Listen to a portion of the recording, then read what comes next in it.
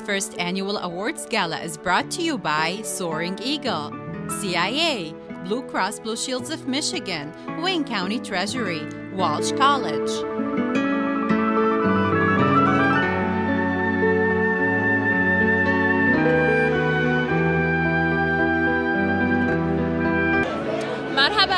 It's Zahara Perez here at MEA's first annual awards dinner. It's such an exciting night and with me now is one of tonight's awardees, Mr. Ishmael Ahmed. Thank you so much for joining us tonight.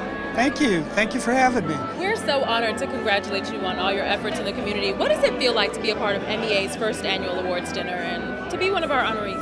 Well, it's an amazing event. I'm proud to be here with so many of the fine leaders that this community has. And uh, this station has done so much to get out information to people who really need it. Uh, when I was director of the Department of Human Services, they were always there to help get information to those who need.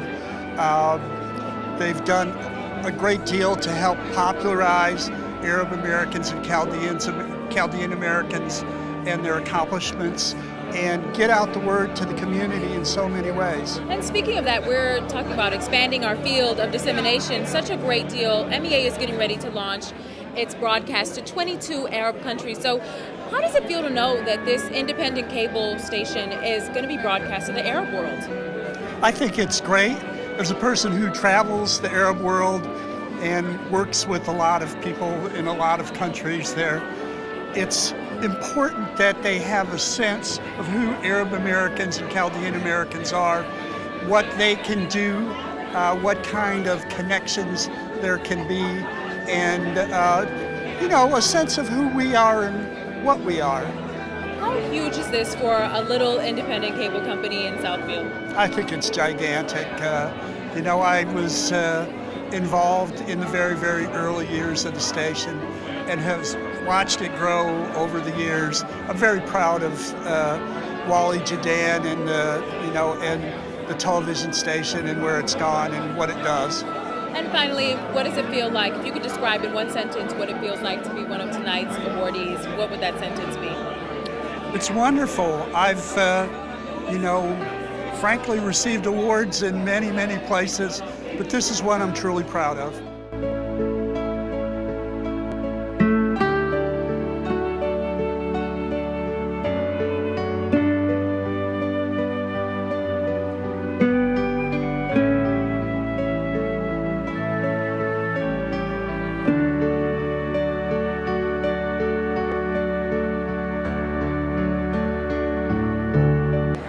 Senator Carl Levin, thank you so much for being with us on our first annual MEA Awards Gala.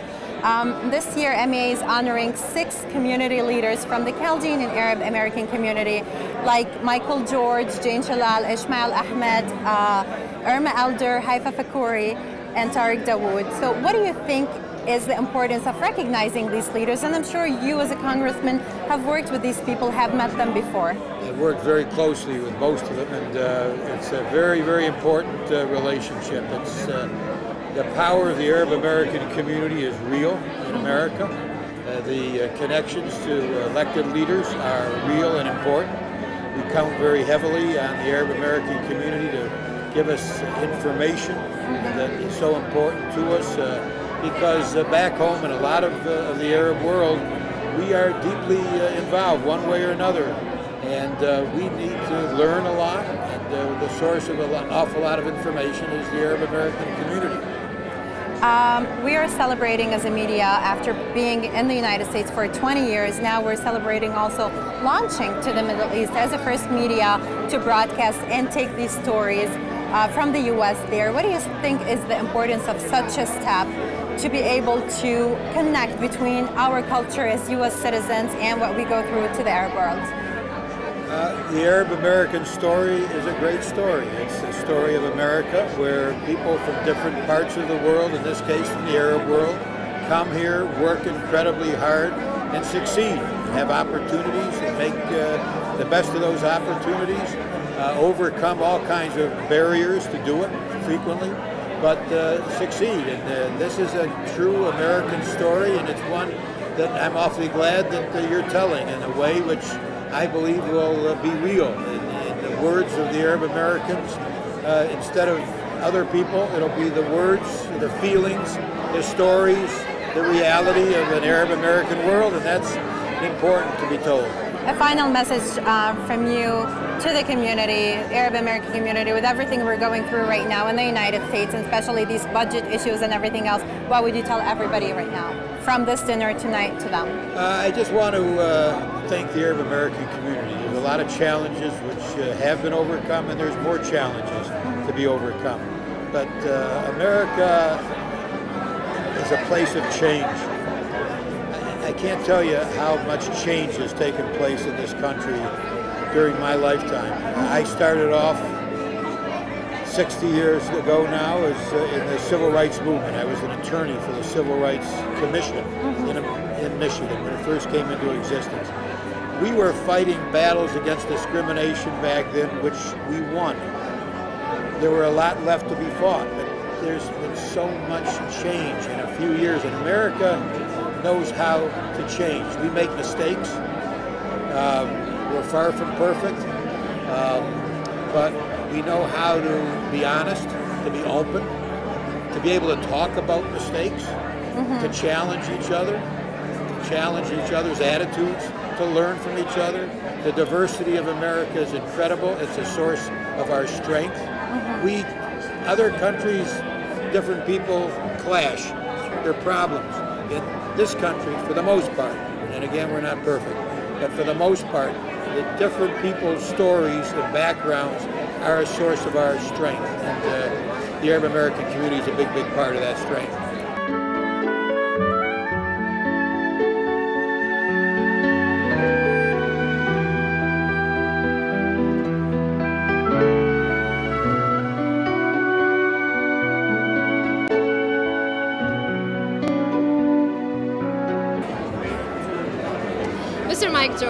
Leader in a Middle Eastern American community.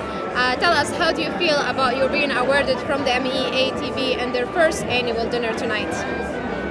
Well, I'm very happy to be here, but uh, very frankly, I think there's a lot more people out there, especially younger ones than myself, that deserve awards. Uh, at, at, my age, I don't need them, but uh, you know, I want to look forward to bringing the younger people up to receive awards and let them become part of the community.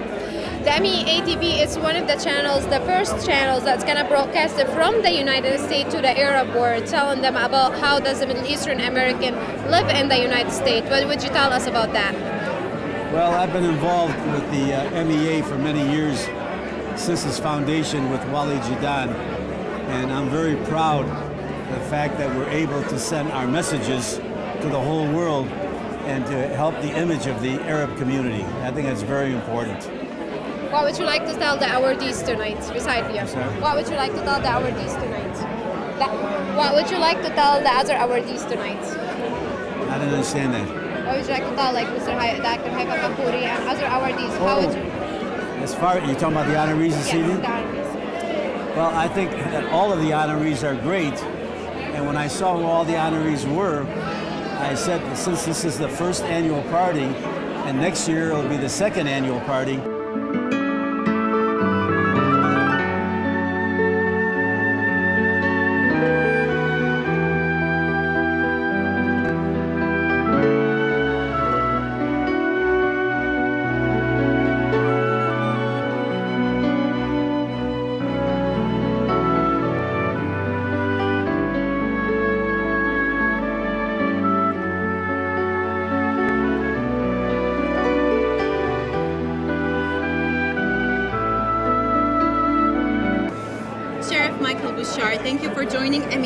In its first annual awards gala. Happy to be here. As you know, tonight we celebrate uh, six Arab and Chaldean award uh, community members who've accomplished a lot in this community. It's for community leadership and development. What do you think of these award recipients, and what's the importance of recognizing them, like Michael George, Tariq Dawood, Jane Shallal, Irma Elder, and Haifa Fakhouri? Well, I, I think it's great not only for the community to see tangible role models of people that have done a great job and have excelled in their chosen careers, but it's good for people outside the community to see the diversity and the capability and the professionalism. You know, I mean, Irma I've known for years in the auto activities in Haifa and social services and you know all the different kinds of fields and communities that this community is involved in and more than just involved extremely successful so it's great to have an opportunity to celebrate it and, and talk about it and, and uh, as my grandmother used to say sometimes you need to blow your own horn because no one else will so we're blowing their horn um, Sheriff, also this year we are doing this annual gala to launch our uh, MEA to the Middle East as the first media broadcasting from the United States to 22 Arab countries. What do you think is the importance of such a media in building bridges between the United States and the Arab culture and the youth? Well, I think it gives them a direct connection, a direct insight into America and its culture that, that the community, that Arab, Arab Americans, Chaldeans, all the different people that are here have assimilated and excelled and they're part of America and I think that's very good for the Middle East community that may not know that, may not be able to see it otherwise other than through the MEA. Um, sheriff, a final message for you to the community as a sheriff and uh, someone who did a lot of uh, service to this community for so many years. Well, um, it's an awesome community. You should be here next year, be here and support the MEA uh, by watching, tuning in, and expanding their programming here and across the world because that allows us to share this kind of message. And that's a good message to share. Positive message about a very positive community.